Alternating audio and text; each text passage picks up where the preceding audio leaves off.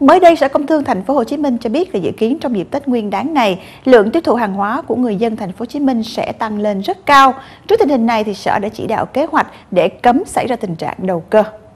Theo dự kiến, trong dịp Tết Nguyên đán năm 2018, thành phố sẽ tiêu thụ khoảng 44 triệu lít bia, 47 triệu lít nước ngọt. Đây là một con số rất lớn.